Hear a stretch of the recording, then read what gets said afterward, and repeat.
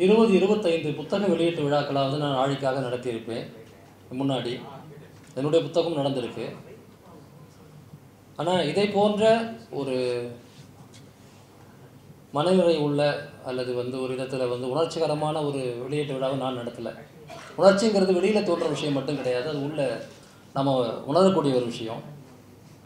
நான் நேற்று கூட இதை பற்றி ஒரு பதிவில் போட்டிருந்தேன். இது நான் எழுதிய நூல் அல்ல. இது என்ன எழுதிய நூல்.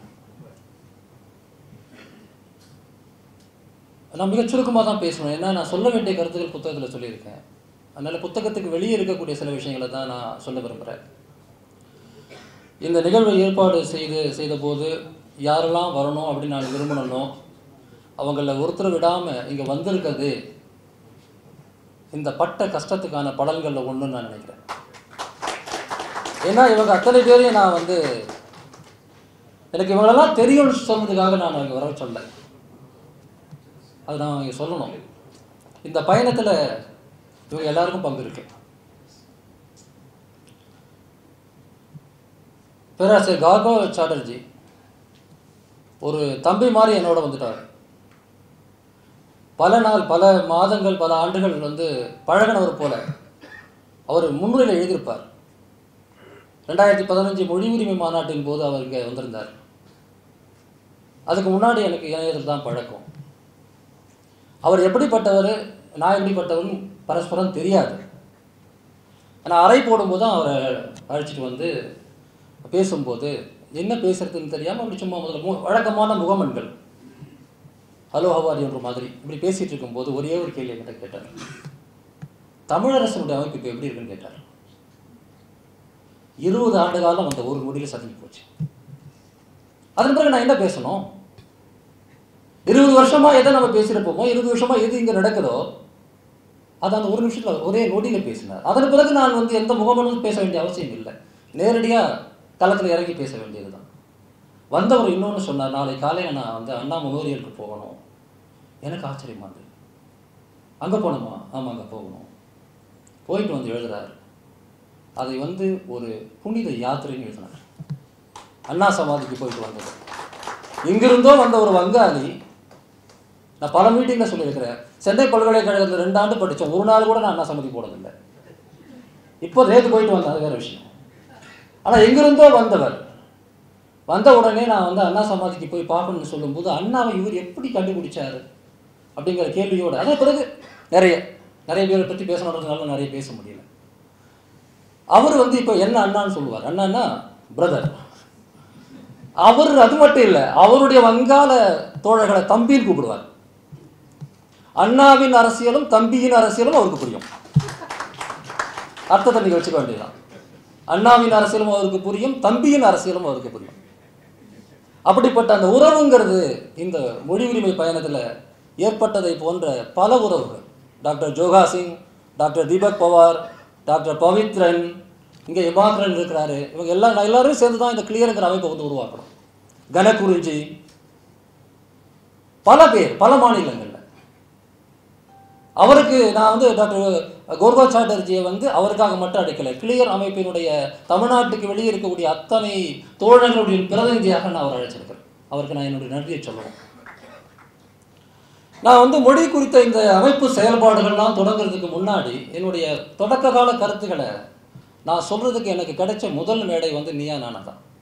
ரெண்டாயிரத்தி ஒன்பதுன்னு நினைக்கிறேன். ரெண்டாயிரத்தி ஒன்பது ரெண்டாயிரத்தி பத்தில். முதல் முறையில் தொலைக்காட்சி எனக்கு அறிமுகம் அதுதான். அது எவ்வளவு வீச்சாக இருந்தது நீயா நானாவில்ங்கிறதுக்கு நான் ஒரு உதாரணம் சொல்லணும்.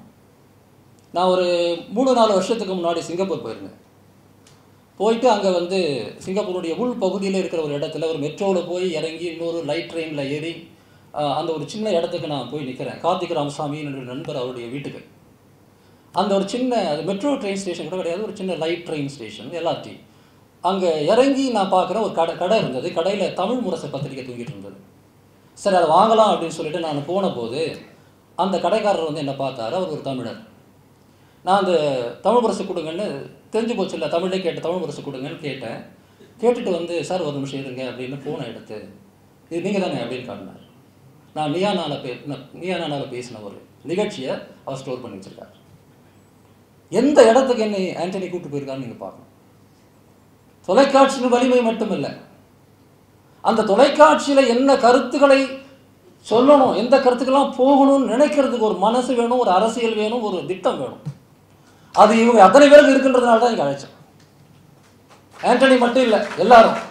குணசேகரன் கார்த்திகேயன் இன்னும் பலர். ஜென்ராம் இங்க இருக்கார். ஜீவசகாப்தன் செந்தில்வேல். ஏன் வந்து இதை நான் சொல்றேன் அப்படின்னா எனக்கு ஊடகம் பழசுங்க. நான் தொண்ணூற்றி அஞ்சில் இந்தியா டுடேல சேர்ந்தேன். என் பேர் வந்து தொண்ணூத்தஞ்சு தொண்ணூத்தாறுலேயே வந்துருச்சு. ஊடகம் எனக்கு ரொம்ப பழசு. நான் அதுலேருந்து வெளிவந்து ரொம்ப நாள் ஆச்சு. அதனால தான் மூத்திர பத்திரிகையாளர் போட்டு என்னை வந்து கூப்பிடுறாங்க. அதனால வந்து எனக்கு அந்த ஊடக புழக புகழுக்காக நான் போகலை.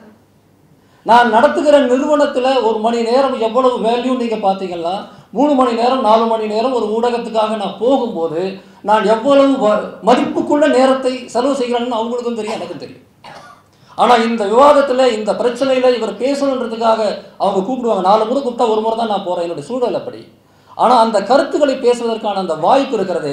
இன்னைக்கு தமிழ்நாட்டில் மட்டுமில்லை உலகத்தில் நான் எங்கே பயணம் செய்தாலும் அங்கே இருக்கிற தமிழர் மத்தியில் மொழி பிரச்சனையில் அல்லது வந்து வேறு ஒரு பிரச்சனையில் இந்த கருத்தை நீங்கள் சொன்னீங்க அது சரியாக இருந்துன்னு சொல்லும்போது நான் இவங்களுக்கு நன்றி சொல்லாம வேறு யாரும் சொல்ல முடியும் ஏன்னா ஒரு இருண்ட காலத்தில் இருக்கிறோம். இவர்களுடைய ஊடகங்களுடைய நிறுவனர்கள் யார்? எவ்வளவு பேர் ரிஸ்க் எடுக்கிறாங்க யாருக்கா தெரியுமா? ரொம்ப சுலபமாக போடுவாங்க ஊடக வேசிகள். ஃபேஸ்புக்கில் திறந்தீங்களா? கிழிப்பாங்க. இதை பண்ணீங்களா? இதை பண்ணீங்களே அதை பண்ணீங்களா? ஒரு சின்ன விஷயம் பண்ணுறதுக்கு எவ்வளோ ரிஸ்க் எடுக்க வேண்டியது தெரியுமா ஒவ்வொருத்தருங்க இந்தியா முழுக்க மீடியா சோல்ட் அவுட் இன்னைக்கு தமிழ் ஊடகங்களில் நடக்கக்கூடிய மாதிரியான விவாதங்கள் பல இடங்களில் நடக்கல. கோகா சாட்டர்ஜி கேட்டால் சொல்லுவார். ஆர்னாப் கோஸ்வா கோஸ்வாமி போன்றவங்களை விரட்டி அடிக்கிற ஒரே ஆள் இன்னைக்கு அவர் தான் இந்தியாவில். அவருக்கு தெரியும். இப்படிப்பட்ட ஒரு இருண்ட காலத்துல ஊடகங்கள் விலை போன காலத்துல ஜனநாயக உரிமைகள் விதிக்கப்படக்கூடிய ஒரு காலத்துல மோடி அமித்ஷாவின் கீழே வந்து ஒரு பாசிச ராஜ்யம் உருவாகி கொண்டிருக்கிற ஒரு காலத்துல ஏற்கனவே இருக்கிற இந்திய பேரரசு ஒரு இந்திய பாசிஸ்ட் பேரரசாக மாறக்கூடிய ஒரு காலத்துல உண்மைக்காக பேசுவது என்பது அது ஊடகத்தில் இருந்துகிட்டு பேசுவது என்பது சாதாரண விஷயம் கிடையாது. அதை சொல்லணும் அவங்க முன்னாடி சொல்லணுன்றதுக்காக தான் கூப்பிட்டேன். அதே போலதான் சமஸ். அவருடைய கருத்துக்கள் பற்றி நிறைய மாறுபட்ட கருத்துகள் எல்லாருக்கும் இருக்கு. எனக்கு கூட இருக்கு. அதனால என்ன? ஒரு ஜனநாயக நாட்டில் அதுக்கான இடம் இல்லையா என்ன? ஆனால் ரெண்டாயிரத்தி பதினஞ்சில் அவர் பேசும்போது கூட குறிப்பிட்டார். ரெண்டாயிரத்தி பதினஞ்சு ஜனவரி இருபத்தஞ்சாம் நாள் மொழி பூர்த்தி ஆகிய நாள் அன்னைக்கு நான் எழுதின ஒரு கட்டுரை. நாம் ஏன் மொழி பூர்த்தி ஆகியலை நினைவு கொள்ள வேண்டும் என்கிற ஒரு கட்டுரையை வந்து நான் சுத்தமாக எதிர்பார்க்காத அளவுக்கு ஒரு முழு பக்கத்தில் அந்த தியாகிகளின் அருமையான படங்களை போட்டு அவர் பதிப்பித்த அந்த கட்டுரை தமிழ்நாட்டில் ஒரு இயக்கத்தை உருவாக்கியது. இப்போ நானும் கணக்குறிஞ்சியும் சேர்றதுக்கு அந்த கட்டுரை தேவையில்லை.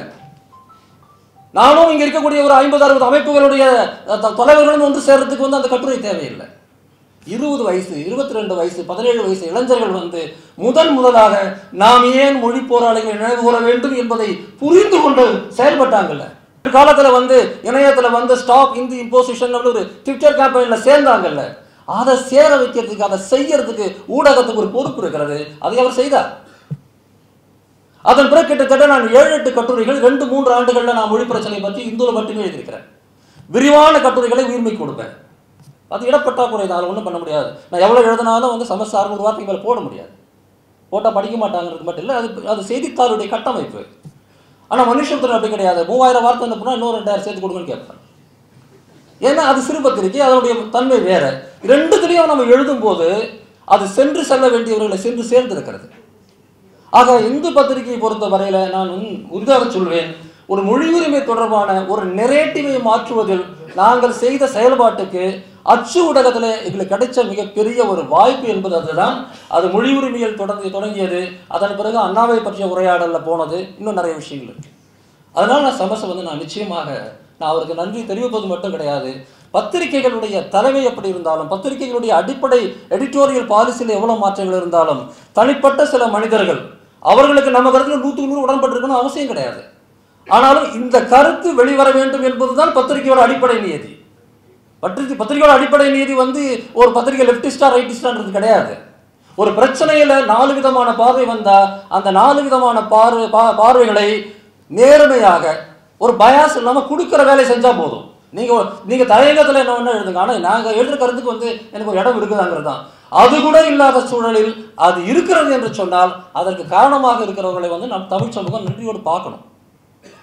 கிட்டத்தட்ட நூற்றுக்கணக்கான முகநூல் பதிவுகளில் ஊடகவியலாளர்கள் பற்றி குறிப்பாக இவர்களை பற்றி எழுதின கருத்துக்களுக்கு மறுப்பு சொல்ல எனக்கு ஒரு தேவை இருந்துக்கிட்டே இருந்தது. நானும் ஒரு ஊடகவியலாளர் இருந்தனால எனக்கு புரிய அது. அதையும் சேர்த்து தான் இங்கே சொல்கிறேன் இவங்க அத்தனை பேருக்கு நான் சொல்லக்கூடிய நன்றிங்கிறது ஒன்றுதான். இந்த பிரச்சனையில் மொழி உரிமை பிரச்சனையில் வந்து நாங்கள் அடுத்த கட்டத்தை நோக்கி நகர்வதற்கு நீங்கள் ஒவ்வொருவரும் தெரிந்தோ தெரியாமலோன்னு சொல்ல மாட்டேன். தெரிந்தே தான் உதவி செய்தீர்கள். உங்கள் அனைவருக்கும் நன்றி. மிக முக்கியமான ஆனால் மனுஷபுத்திரன் சொல்லும்போது இன்னொரு விஷயத்தை நான் சொல்லணும். அவரோட உரையாடல் பெரும்பாலும் எனக்கு தொலைபேசி மூலமாக தான் எந்த பிரச்சனை பற்றி எழுதினாலும் அவர் தான் விரட்டி விரட்டி வாங்குவார். கடைசி கட்டுரை நான் தான் கொடுப்பேன். ஒவ்வொரு இது நான் எழுதும்போது. பல சமயங்கள் அதை பற்றி பேசி என்கிட்ட அவர் வந்து சொல்லுவார். அது மட்டும் கிடையாது. என்னுடைய மொழி உரிமை தொடர்பான பல கட்டுரைகளை வந்து அவர் வாசித்தவர். லட்சக்கணக்கான திமுக தொண்டர்கள் கூடுகின்ற கூட்டங்களில் அந்த கருத்துக்களை சொல்வார். அது ரொம்ப முக்கியமானது. நீங்கள் படிக்கிறீங்க. எப்படி வந்து தொலைக்காட்சி விவாதங்கள் நடக்கிற ஒரு விஷயம் லட்சக்கணக்கான மக்களுக்கு போய் சேர்கிறதோ அதே போல இந்த மொழி உரிமை இயக்கத்தினுடைய ஆதி இயக்கமான திராவிட முன்னேற்ற கழகத்தின் இன்றைய இளைஞர்களுக்கு அதை கொண்டு போய் சேர்க்கக்கூடிய ஒரு முக்கியமான ஒரு பணியை வந்து அவர் செய்கிறார். நான் வந்து இந்த விஷயத்தில் யார்? நான் இந்த விஷயத்தில் வந்து ஒரு கால செயல்பாட்டாளர். எனக்கு என்ன வேணும்? எனக்கு ஆதரவு வேணும். வேற ஒன்றும் இல்லை. ஒருவர் தமிழ் தேசியவாதியோ திராவிட இயக்கத்தை சேர்ந்தவரோ இடதுசாரி இயக்கத்தை சேர்ந்தவரோ அல்லது வந்து எந்த ஒரு இயக்கத்தை சேர்ந்தவராக இருந்தாலும் அடிப்படை ஜனநாயக கோரிக்கைங்கிற அடிப்படையில் இந்த மொழி உரிமைக்காக வந்து நிற்கணும் அதற்காகத்தான் தமிழ்நாட்டுக்குள்ள ஓடினேன் இந்தியா முழுக்க ஓடிக்கொண்டிருக்குது. ஆக அந்த விஷயத்தில் வந்து எனக்கு ஒரு மிக முக்கியமான ஒரு ஒரு பங்களிப்பாக நான் வந்து மனுஷபுத்தனுடைய செயல்பாடுகளை வந்து நான் பார்க்குறேன். கனகுருஜி நான் வந்து தம் மொழியுறவு இயக்கத்தினுடைய தொடக்கக்கட்ட செயல்பாடுகள் போது எனக்கு அவ்வளோவா அறிமுகம் கிடையாது. ஆனாலும் கூட பல அமைப்புகள் நான் அவங்களோட போயிட்டு வந்து இதெல்லாம் சேர்ந்து செயல்படணும் அப்படின்னு சொல்லும்போது பல அமைப்புகள் வந்து அதுக்கு தயாராக இல்லை. அவங்களுக்கு வேறு சில காரணங்கள் இருக்கலாம். இவர் யார்? ஏன் திடீர்னு வந்து மொழியை பற்றி இவர் பேசுகிறாரு நான் வழக்கமான மொழி உரிமை செயல்பாட்டு தலங்களில் நீண்ட காலம் கலந்து கொண்டவன் கிடையாது. என்னுடைய மாணவர் பருவத்தில் நிறைய அரசியல் செயல்பாடு உண்டு. அதன் பிறகு நான் அரசியல் பக்கமே போனதில்லை. ரெண்டாயிரத்தி ஒன்பது ஈழ இனப்படுகொலைக்கு பிறகுதான் மறுபடியும் கொஞ்சம் கொஞ்சமாக அரசியல் செயல்பாடுகள் அதில் நான் ஈடுபட்டேன். அந்த காலகட்டங்கள் நிறைய கேள்விகளை பற்றி இவர் எதுக்கு இது பண்ணுறாரு இதுக்கு எதுக்கு சப்போர்ட் பண்ண இவர் பின்னாடி யாராவது இருக்கிறாங்களா? இப்படியெல்லாம் கேள்விகள் இருந்த நேரத்தில் அந்த மொழி உரிமை இயக்கத்தினுடைய தொடக்க கட்ட செயல்பாடுகளுக்காக ஈரோடு திருப்பூர் கோயம்புத்தூர் போன்ற இடங்களில் நிகழ்ச்சிகளை ஏற்பாடு இப்போ செய்து நான் போய் பேசுறதுக்கான வாய்ப்பை கொடுத்து அதன் பிறகு அந்த தமிழ் மொழி உரிமை கூட்டு இயக்கங்கிற ஒரு அமைப்பு உருவாகிறதுக்கும் பிறகு வந்து பல்வேறு செயல்பாடுகள் செய்யறதுக்கும் வந்து அவர் மிக முக்கியமான ஒரு பங்கை ஆற்றினார். என்ன அப்படிப்பட்ட பங்கு இல்லைன்னா என்னால் அதெல்லாம் செஞ்சிருக்க முடியாது. யாரோ ஒருத்தர் போய் சொன்னால் எல்லாரும் கேட்டு பின்னாடி வர முடியுமா என்ன? ஆக அந்த மாதிரி அந்த அடிப்படையில் நான் அமைப்புகள் அனைத்து சார்பாக நான் அவர் அழைச்சிருக்கிறேன் அவருக்காக மட்டும் இல்லை. அவரை நான் வந்து அழைச்சிருக்கிறேன் அவருக்கு நான் என்னுடைய நன்றியை வந்து நான் தெரிவிக்கணும். நான் வந்து ஒரு எம்எஸ்எஸ் பாண்டியனுடைய நினைவு நாள் அது அவர் இறந்த அன்னைக்கு தான் நான் வந்து குணசேகரனை முதல் முறை சந்தித்தேன் அதன் பிறகு வந்து ஒரு இயல்பான ஒரு உறவுங்கிறது ஏற்பட்டது. பல்வேறு விவாதங்களில் வந்து அவர் மிக சரியான கேள்விகளை முன்மொழிந்து அந்த விவாதத்தை கூர்மையடைய வைத்து அவர் செயல்படும் போது எனக்கு எப்படி தெரியுமா தோணும்? எங்கிட்டருந்து இந்த கேள்வியெல்லாம் கேட்டு விஷயத்தை வாங்கி வெளியே சொல்கிறதுக்கு ஒரு வழி பண்ணணும்னு தோணும். அவர் தான் அவர் முயற்சி பண்ணுறாருன்னு எனக்கு தோணும். நானும் அதை தான் விரும்புகிறேன் பொதுவாக வந்து ஒரு கேள்வி கேட்குறது எல்லாரும் கேட்டலாம் எல்லா பத்திரிகையாளரும் கேட்கலாம். எந்த ஒரு பத்திரிகையாளரும் அடிப்படையாக வந்து எஃப்ஏக்கு மாதிரி கேள்வி கேட்டுடலாம். ஆனால் அந்த விவாதத்தின் ஊடாக ஒரு குறிப்பிட்ட புள்ளியில் இந்த பக்கம் நாராயணனோ கேடி ராகவனோ யாரோ இருக்கிறாங்கன்னு வச்சுங்களேன் அந்த நேரத்தில் ஒரு குறிப்பிட்ட புள்ளியில் ஒரு சரியான பதிலை சொல்கிறதுக்கு ஒரு ப்ராம்ப்ட் வேணும் ஒரு தூண்டுதல் வேணும். இந்த கேள்வியை கேட்டால் தான் அவருக்கு பதில் வரும்னு. ஆனால் அது எந்த விதமான சிக்கலாகவும் இருக்கக்கூடாது. நானும் வந்து பெரும்பாலும் வந்து டிவி விவாதங்களில் சைவம் தான் அதனால் வந்து நம்ம இவரு நாராயணன் மாதிரி நான் பேச முடியாதுல்ல. அப்போ சரியாக வந்து இந்த கேள்வி கேட்டு அதை தூண்ட வைத்து அதை அந்த கருத்தை வெளியே கொண்டு வர வைக்கிறதுல ஒரு நெறியாளருக்கு வந்து மிகுந்த பக்குவம் மட்டும் போதாது அரசியல் ஞானமும் வேணும். உங்களுக்கு அரசியல் ஞானம் வேணும்னா எப்படி அந்த கேள்வி வரும்? ஆக அந்த திராவிட இயக்கத்தினுடைய அடிப்படையான அரசியல் அறிவை பெற்ற ஒரு காரணத்தினால்தான் குணசேகரனால் வந்து அந்த சரியான கேள்விகளை கேட்டு அந்த சரியான பதிலை வாங்கி இந்த லட்சக்கணக்கான மக்களுக்கு கொடுக்க முடிஞ்சது. அதனால் மிகப்பெரிய பலன் என்பது இந்த இயக்கத்துக்கு கிடைத்திருக்கிறது. எனவே அவருக்கு நான் வந்து நன்றி சொல்லணும். சில முக்கியமான கருத்துக்களை நான் வந்து முகநூலில் போட்டாலும் சரி இல்லை பத்திரிக்கையில் வந்தாலும் சரி அந்த குறிப்பிட்ட விஷயம் வந்து ஒரு விவாதத்துக்கு உரிய விஷயமாக இருந்தால் அதை விவாதத்துக்குரிய விஷயம் என்று சொல்லி இப்படி ஒரு கருத்து வந்திருக்கிற பத்திரிகையில் ஆழி சந்திரன் எழுதியிருக்கிறார். அதை பற்றி நீங்கள் என்ன நினைக்கிறீங்கன்னு ஒரு காலை நிகழ்ச்சியோ அல்லது மாலை நிகழ்ச்சியோ ஏற்பாடு பண்ணக்கூடியவர் கார்த்திகேயன். எனக்கு தெரிஞ்சு ரெண்டு மூணு முறை அப்படி நடந்திருக்கு. நான் முன்வைத்த கருத்து அந்த கருத்து வந்து அந்த சூழலுக்கான எதிர்வினை அந்த எதிர்வினையை வாதமாக மாற்றி மாற்றுவது என்பது ரொம்ப முக்கியமானது. ஏன் மெனக்கட்டு எழுதுறோம்? விவாதமாக வரணும் தானே. ஆனால் யாராவது ஒருத்தர் வந்து அதை விவாதமாக மாற்றணும் அதை மாற்றுவதற்கு வந்து எழுத எழுதுனவங்க மேலே ஒரு நம்பிக்கை இருக்கும்.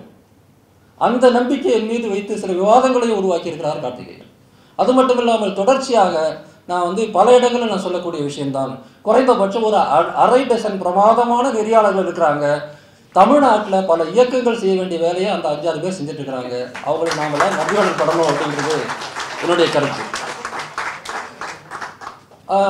இந்த இயக்கம் அப்படிங்கிறது வந்து ரெண்டாயிரத்தி பதினாலில் நாங்கள் தொடங்கின போதிலிருந்து என்னோட செயல்படக்கூடியவர்கள் அன்பு தோழர்கள் தன்னாட்சி தமிழகத்தினுடைய அன்பு தோழர்கள் பழனி தாண்டவமூர்த்தி தோழர் செல்வி தங்கபாண்டியன் போன்றவர்கள். நிறைய பேச நேரம் இல்லை. அவங்களுக்கெல்லாம் நான் இப்போதைக்கு ஒரே வார்த்தையில் என்னுடைய மனம் கடைந்து நன்றி என தெரிவிச்சுக்கிறேன். நிறைய பேச வேண்டியது. நேரம் இல்லை ஏன்னா எனக்கு பிறகு வந்து கௌரவாவுடைய முக்கியமான உரை இருக்கிறதுனால இந்த ஏற்புரையை நான் கிட்டத்தட்ட நன்றி உரையாக ஆற்ற ஆற்ற வேண்டியிருக்கு. அடுத்து சு. வெங்கடேசன் நாடாளுமன்ற உறுப்பினர். நான் அவரோட ரெண்டு விதமாக எனக்கு பழக்கம் ஏற்பட்டது.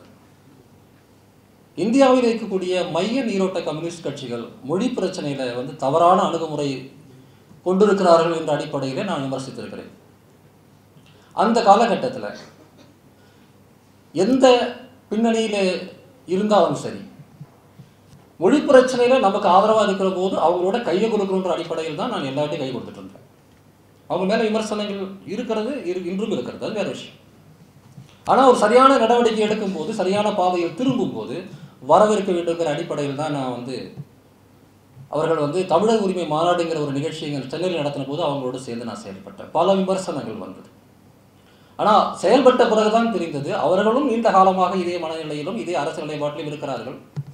நாம சரி பிரிஞ்சு சண்டை போட்டிருக்கிறதுனால வந்து நாம தான் மொழின்னா நாம தான் நம்ம நினைக்கிறோம். அப்படி கிடையாது. அவங்களுக்கும் ஒரு பார்வை இருக்கிறது. அவர் தமிழ்நாட்டினுடைய ஆட்சி மொழி சட்டம் பற்றி இருபது வருஷத்துக்கு முன்னாடி புத்தகம் எழுதியிருக்காரு. ஒரு மிகச்சிறந்த தமிழ் அறிஞர். கீழடி விஷயத்தில் அவருடைய பங்களிப்பு நம் அனைவருக்கும் தெரியும். சங்க இலக்கியத்தை கரைந்து குடித்தவர். சாதாரண விஷயம் கிடையாது. எப்படிப்பட்ட எம்பியை நாம் தேர்ந்தெடுத்துக்கணும் நாம் பெருமைப்படணும். அது அது ஒரு அனுபவம். அதற்கு அடுத்து தொடர்ச்சியாக நான் வந்து சிபிஎம்முடைய இந்த செயல்பாடுகளில் மதுரையில் ஒரு நிகழ்ச்சி நடந்தது பல்வேறு நிகழ்ச்சிகள் நடந்தது. நான் பழகும் போது தான் ரெண்டு விஷயங்களை புரிஞ்சுக்கிட்டேன். ஒன்று இந்தி வெறியர்களுடைய இந்தி திணிப்பு மட்டுமில்லை கட்டுக்கடங்காத அந்த புலப்பெயர்ச்சியும் சேர்த்து மொழி பிரச்சனையை தமிழ்நாட்டில் பட்டாளி வர்க்கத்தின் பிரச்சனையாக மாற்றி இருக்கிறது என்பதை புரிந்து கொண்டேன் அது பெல் தொழிற்சாலை நடந்த போராட்டம். அதை பற்றி தான் நான் எழுதியிருக்கேன். அந்த போராட்டத்தில் சிஐடியு தலைமை தாங்கி நடத்தியது எங்களை இந்திக்கு எதிரான ஒரு போராட்டத்தை ராணிப்பேட்டை பெல் தொழிற்சாலையில் சிஐடியு தலைமை தாங்கி நடத்தியது என்பதுடைய வரலாற்று பின்னணியை நீங்கள் புரிந்து கொண்டால் ஏன் தமிழ்நாட்டில் வேற எந்த இடத்துலையும் இடதுசாரிகள் இந்த அளவுக்கு மொழி பிரச்சனை நீங்கள் தலையிடுறது கிடையாது. தமிழ்நாட்டில் தான் இருக்கிறாங்க. அதை நீங்கள் புரிஞ்சுக்குவீங்க. வரலாற்றினுடைய ஒரு அறைகூவலை செவிமடுத்த வெகு சில இடதுசாரி இயக்கத்தை சேர்ந்தவர்களில் சூரிய கணேசன் வெகு சில. இன்னைக்கு தமிழ்நாட்டிலே கேரளாவிலே தான் அந்த குரல் நான் பார்க்குறேன். மற்ற இடங்களில் இல்லை.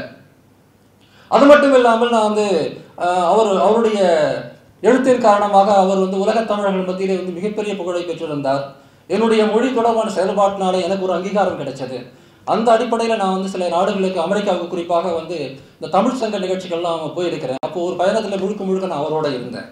அந்த காலகட்டத்தில் நடந்த அந்த உரையாடல்கள் அவரை பற்றி நான் மேலும் மேலும் புரிந்து கொண்ட போது இவர்தான் நம்முடைய சக பயணி என்று எனக்கு நான் ஒரே ஒரு நான் களப்பணியாற்றினேன் அதனால யாரும் ஓட்டு போட்டுக்க மாட்டாங்க இது விஷயம். ஏற்கனவே முடிவு பண்ணிட்டாங்க ஓட்டு போடணும்னு. ஆனால் ஏதோ என்னுடைய கடமை உணர்ச்சியாக்காக நான் போய் செஞ்சிருந்தேன்.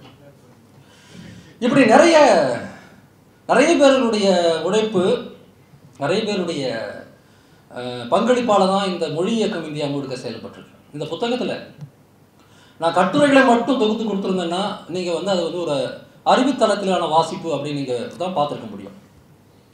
லாங்குவேஜ் பாலிசி பற்றி அதில் கொஞ்சம் விஷயம் தெரிஞ்சவர் எழுதியிருக்காருப்பா அப்படின்னு. ஆனால் இதில் இருக்கக்கூடிய ரெண்டாயிரத்தி பதிமூணில் தொடங்கி ரெண்டாயிரத்தி பத்தொன்பது வரை இந்த ஆண்டுகளில் இந்தியா முழுக்க தமிழ்நாடு ஆந்திரா கர்நாடகா கேரளா ஒரிசா இந்த லாட்ரி டிக்கெட் போடுற எல்லா ஸ்டேட்லேயுமே போய் வந்து நம்ம வந்து செய்த அந்த செயல்பாடுகள் அத்தனையும் நான் இதில் வந்து பதிவு பண்ணியிருக்கேன். அது ஏன் பதிவு பண்ணணும்னு தோணுச்சுன்னா ஒரே ஒரு காரணம் தான் இந்த சூழலில் வந்து இந்தியாவில் இருக்கக்கூடிய இந்த இருளை கிழிக்கக்கூடிய ஒளி எங்கிருந்தெல்லாம் கிளம்ப முடியும்னு பார்த்தா அதில் வந்து பல கூறுகள் இருக்குது பல பிறப்பிடங்கள் இருக்குது ஒளியில். செக்யூலரிசங்கிறது ஒன்று மதச்சார்பின்மை ஜனநாயகம் அப்படிங்கிறது ஒன்று மனித உரிமை அப்படிங்கிறது ஒன்று ஆனால் இது எல்லாமே கொஞ்சம் மூளை சம்மந்தப்பட்ட விஷயம். இதயம் சம்மந்தப்பட்ட ஒரு விஷயம் இருக்குது எந்த இடத்துல பேசினால் இதயத்தை தொட முடியும்னா அது வெகு சிலது தான் கலாச்சாரம் மொழியிலிருந்து தான் ஏன் ஜல்லிக்கட்டுக்கு அந்த உணர்ச்சி வந்தது? ஜல்லிக்கட்டு இது எல்லாமே சினிமாவில் பார்த்த ஊரில் இருக்கலாம் பெரிய போராட்டம் நடந்தது. ஏன் ஜல்லிக்கட்டுக்கு அந்த உணர்ச்சி போராட்டம் நடந்ததுன்னா அது உணர்வு சம்பந்தப்பட்டது. மொழிங்கிறதும் அப்படிதான். தமிழனாகி நமக்கு மட்டும்தான் தாய்மொழி பற்றா? மற்றவர்களுக்கெல்லாம் மற்றது கிடையாதா?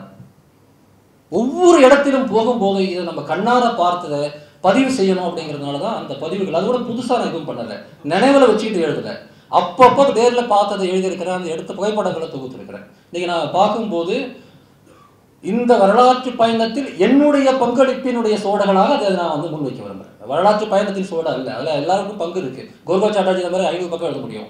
ஜோகா சிங் இந்த மாதிரி ஆயிரம் பக்கம் எழுத முடியும்.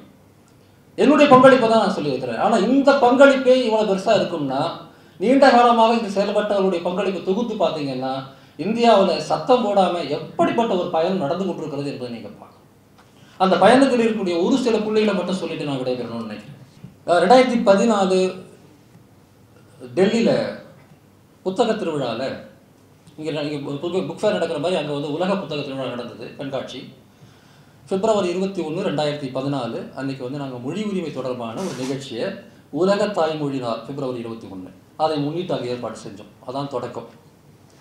அந்த தொடக்கத்தில் பல சின்ன சின்ன உறவுகள் தான் அப்படி இருந்தது அதிகமே கிடையாது. எனக்கு எனக்கு கிடைச்சது எனக்கு ஹிந்தி சுத்தமாக தெரியாது. அவன் டெல்லியில் உட்காந்து அதை ஆர்கனைஸ் பண்ணேன்.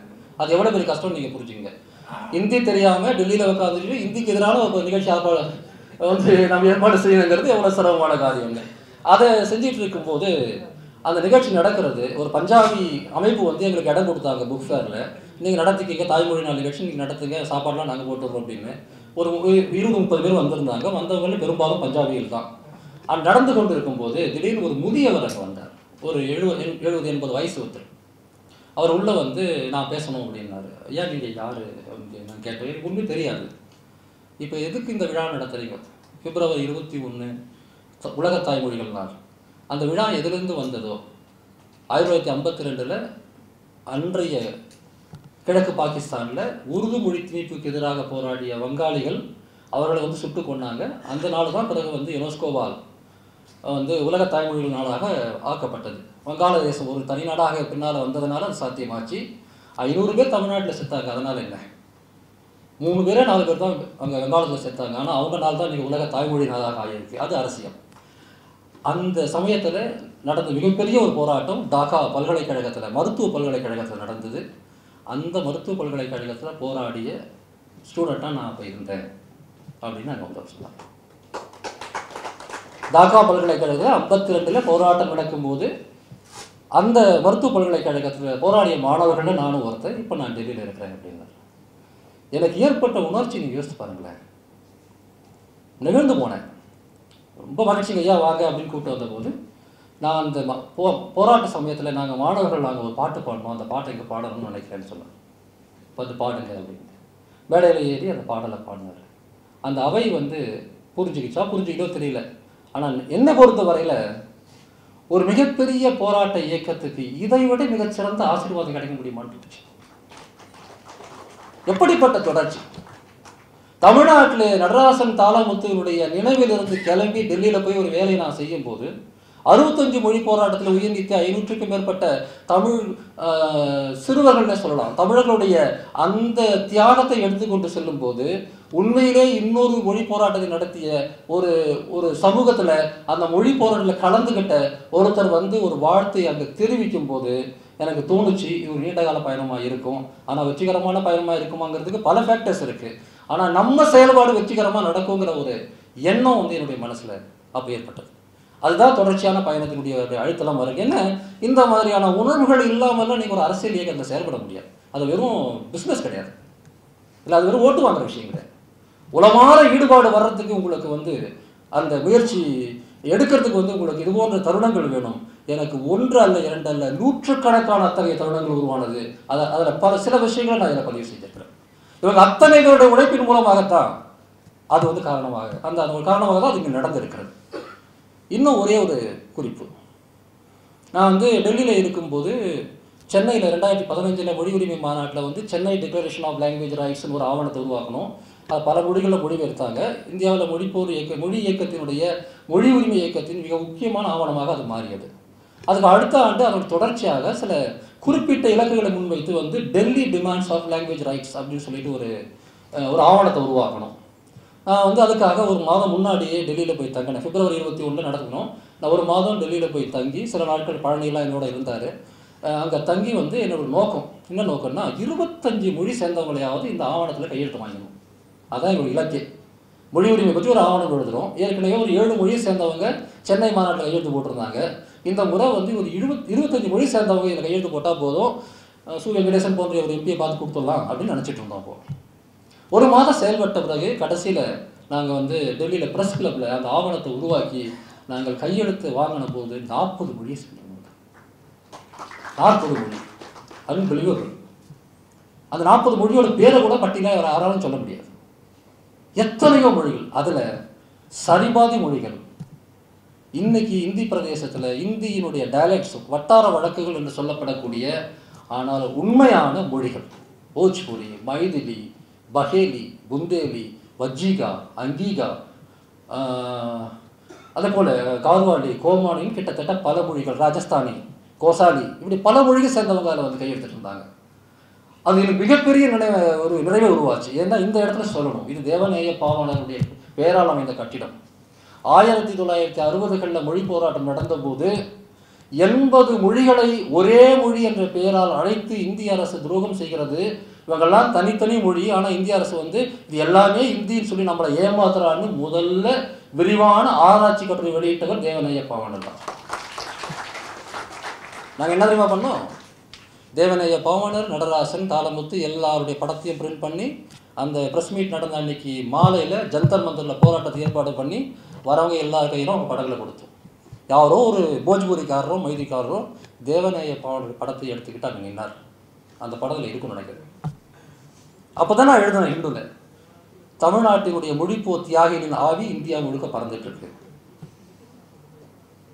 அந்த சமயத்தில் வந்து நான் பல பல விஷயங்களை புரட்டி கொண்டிருக்கும் போது ஒரு போஜ்பூரி கவிஞருடைய ஒரு கவிதை எனக்கு வந்து தென்பட்டது. அதை பேசிட்டு நான் முடிச்சிடுறேன். துமாரா ஏ தமிழ் துக் மேரி இஸ் போஜ்பூரி பீதா கே பாய் ஹாய் பாஷா ஊஸ் திக்தமி தரிந்தே கா கவர் இதனுடைய தமிழாக்கம் என்னன்னா உன் தமிழ் துயரம். நம்மளை பார்த்து சொல்றாங்க. போஜ்பூரி ஒரு போஜ்பூரி கவிஞர் சொல்றார் உன் தமிழ் துயரம் என் போஜ்பூரி துயரத்தின் உடன்பிறப்பு தானே இந்த வரியை நீங்கள் முதல்ல படிக்கும்போது உங்க மனசு எப்படி யோசிச்சு பாருங்க. உன் தமிழ் துயரம் என் போஜ்பூரி துயரத்தின் உடன்பிறப்பு தானே மொழி வஞ்சக மிருகத்துக்கு ஒரு துண்டு இறை மட்டும்தான். அந்த வஞ்சக மிருகம் எது நமக்கு தெரியும்? அந்த மிருகம் இன்னும் பெரிய அளவுக்கு இன்னைக்கு வந்து பலமாயிட்டு வருது. அதுதான் வந்து வெங்கடேசன் சொன்னார். அந்த வஞ்சக மிருகத்துக்கு இந்த மொழி ஒரு துண்டு இறைதானே சுதாமா பாண்டே அப்படிங்கிற ஒரு கவிஞர் எழுதிய ஒரு கவிதை. உன் தமிழ் துயரம் ஏன் போஜ்பூரி துயரத்தின் உடன்பிறப்பு தான் மொழி வஞ்சக மிருகத்துக்கு ஒரு துண்டு இறைதானே. இந்த கவிதை தான் இன்னைக்கு இந்தியாவில் இருக்கக்கூடிய மொழி அரசின் அடிப்படை. நீங்கள் போஜ்புலி மைதிலி போன்ற வட இந்தியாவில் இருக்கக்கூடிய உண்மையான மொழிகளுக்கான போராட்டத்துக்கான அடித்தளத்தை உருவாக்கவில்லை என்றால் அந்த மொழிகள் தாங்கள் அடிப்படையில் மொழிகள் என்கிற அங்கீகாரத்துக்காக போராடுறாங்க. நாம வந்து அரசியல் சாதன வந்த பிறகும் கூட எனக்கு ஆட்சி மொழி பேசுகிறாங்க பேசுறாங்க. ஆனால் ஒரு போஜ்பூரிக்காரனுக்கு அவன் மொழிக்கான அடையாளமே கிடையாது. அந்த போராட்டமும் இந்த போராட்டமும் ஒன்று சேரக்கூடிய இடத்துல தான் இந்த இந்தி ஹிந்து ஹிந்துஸ்தான் என்கிற ஆர்எஸ்எஸ்னுடைய அந்த இந்துத்துவ அஜெண்டாவினுடைய மொழியாக இருக்கக்கூடிய அந்த இந்தி இருக்கு பாருங்க. அது உருவாக்கக்கூடிய அந்த வஞ்சக மிருகம் உருவாக்கக்கூடிய அரசியலை அடித்து ஒதுக்க வேண்டும் என்று சொன்னால் காஷ்மீர் முதல் கன்னியாகுமரி வரை நாம் வேறு ஒரு கோணத்தில் இந்த இந்த உறவு இந்த ஒரு ஒரு உறவை நாம் உருவாக்க வேண்டும். அந்த உறவை உருவாக்குவதற்கான ஒரு பல முயற்சிகளில் ஒரு சிறு முயற்சி தான் இந்த முயற்சி. அதனுடைய ஒரு சிறு சிறு வெளிப்பாடு தான் இந்த நூல். இந்த முயற்சி நிற்க போகிறதில்ல ஏன்னு சொன்னால் முன்னை விட மிக அதிகமான ஒரு மொழி சார்ந்த இனம் சார்ந்த நிலம் சார்ந்த துயரத்தில் நமக்கு ஆட்பட்டிருக்கிறோம். எனவே இந்த மொழி உரிமை போராட்டம் இயல்பாகவே அடுத்து தன்னாட்சிக்கான அல்லது கூட்டாட்சிக்கான போராட்டமாக இந்தியாவில் உள்ள தேசிய இனங்களுடைய இறையாண்மைக்கான போராட்டமாக மலருவதை யாராலும் தடுத்து நிறுத்த முடியாது. அதே சமயத்தில் எந்த மொழியின் மீதும் எங்க எனக்கு வந்து எந்த வெறுப்பும் இல்லைங்கிறது வந்து வெறும் சாதாரண வார்த்தை இல்லை உண்மையும் கூட இதில் இந்தி வாழ்க என்ற தலைப்பில் கூட ஒரு கட்டுரை இருக்கிறது. இந்தி பேசக்கூடிய பகுதியில் ஆங்கிலத்திடம் சிக்கி இந்தி எப்படி தவிக்கிறது என்பதை பற்றியும் நாங்கள் பேசியிருக்கிறோம். இந்தி பேசும் மாநிலத்தில் இந்த அரசாங்கம் ஒதுக்கிற பணத்தெல்லாம் எங்கள் மேலே திணிச்சு ஏண்டாம் வீணா பண்ணுறீங்க அதை உங்கள் மொழிக்கு ஏதாவது பயன்படுத்திங்கன்னு நான் பேசியிருக்கேன். இன்றைக்கி இந்தியாவில் தகவல் தொழில்நுட்ப யுகத்தில் முன்னணியில் இருக்கக்கூடிய மொழி இந்தி அல்ல. அவ்வளவு அரசு மொழி தேசிய மொழிலாம் சொல்லட்டும். அது முன்னே இருக்கிறது தமிழும் கன்னடமும் மராத்தியும் வங்காளியும் தான். இந்தி கீழே இருக்கு. ஏன்னா எந்த வளர்ச்சியும் அது கிடையாது. இந்திங்கிறது வந்து இந்த வஞ்சக மிருகத்தினுடைய ஒரு வாய் தான் இந்த அரசியலினுடைய ஒரு குண்டாந்தடி தான் அந்த இந்தி மொழியை பேசக்கூடிய மக்களும் நமக்கு எதிரி கிடையாது அந்த மொழியும் நமக்கு எதிரி கிடையாது. அதே போலவே தமிழ்நாட்டில் நானாக முயற்சி எடுத்து தேடி சென்று சௌராஷ்டிர மொழியைச் சேர்ந்தவர்களையும் வடுகு மொழியைச் சேர்ந்தவர்களையும் இந்த கிளியரில் உறுப்பினராக்கினேன் அந்த முயற்சி நானும் எடுத்தேன். ஏன்? நான் வலியுறுத்தி சொல்ல விரும்புகிறேன் தமிழ்நாட்டில் தமிழ் இன்னொரு மொழியை கொள்ளுமானால் அதுவும் நமக்கு உடன்பாடு கிடையாது. அந்த சௌராஷ்டிர மொழியினுடைய ஏற்பாடு பண்ண ஒரு நிகழ்ச்சியில் என்ன அதுக்காக என்னை பாராட்டி அழைச்சிருந்தாங்க. அங்கே நான் சொன்னேன் தமிழுக்கு குரல் கொடுத்தவர் உங்க டிஎம்எஸ் அப்போ உங்களுக்கு குரல் கொடுக்க நாங்கள் வரமாட்டோமா? டிஎம்எஸ்ங்கிற ஒரு சௌராஷ்டிரர் தானே அவர் அற்புத அற்புதமான தமிழ் பாடல்களை பாடினார். இப்படி ஒவ்வொரு மாநிலத்திலையும் இருக்கக்கூடிய அந்த மொழி உரிமை போராளிகள் அந்த மாநிலத்திலேயே ஒடுக்கப்படுகிற இன்னொரு மொழிக்கும் உறுதியாக கூட நிற்கணுங்கிற உணர்வையும் நாங்கள் உருவாக்கினோம். அதனால தான் கேரளத்தில் கர்நாடகத்தில் தமிழ்நாட்டில் ஆந்திராவில் ஆயிரம் சிக்கல் இருந்தாலும் கூட மொழி உரிமைன்னு வரும்போது ஒரே நாளில் ஒரே நேரத்தில் நாங்கள் உட்காந்து ட்வீட் பண்ண முடிஞ்சுது. தோழர் சு. வெங்கடேசன் வந்து பதவியேற்று விழாம்போது ஒரு ஒரு வார்த்தை சொன்னார். எல்லாரும் தேசிய ஒருமைப்பாடுன்ற வார்த்தை சொன்னபோது அது ஒற்றுமைப்பாடுங்கிற வார்த்தையை பயன்படுத்தினார். யூனிட்டி அண்ட் இன்டெகிரிட்டின்னு சொல்லும்போது ஒருமைப்பாடுன்னு சொல்லாமல் ஒற்றுமைப்பாடு என்று சொன்னார். அது அருமையான ஒரு மொழிபெயர்ப்பு மட்டுமில்லை அரசியல் ரீதியான மொழிபெயர்ப்பு. அந்த ஒற்றுமைப்பாட்டை நாங்கள் உருவாக்கி கொண்டிருக்கிறோம். இந்துவுக்கு எழுதின ஒரு கட்டுரை நான் குறிப்பிட்ட தலைப்பை சொல்லி இடம்பெற விரும்புகிறேன். இது பிரிவினை அல்ல கூட்டுவினை இதில் நீங்கள் தப்பத்து கஷ்டம். இந்த பயணம் தொடரும். நீங்கள் அத்தனை பேரும் துணையில் இருக்கணும். தொடர்ந்து செயல்படுவோம். நன்றி.